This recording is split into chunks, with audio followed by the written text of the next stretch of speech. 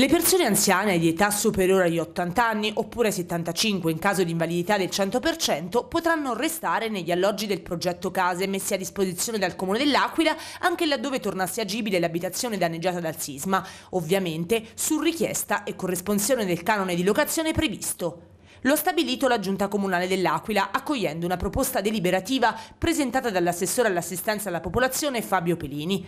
Abbiamo adottato questa deliberazione in ragione del fatto che molti anziani hanno manifestato la volontà di restare nell'alloggio del progetto Case, ha dichiarato l'assessore Fabio Pelini, in considerazione della socialità che in questi anni hanno avuto modo di ricrearsi anche del fatto che non tutte le abitazioni ristrutturate sono accessibili per persone anziane, in quanto per esempio sprovviste di ascensore.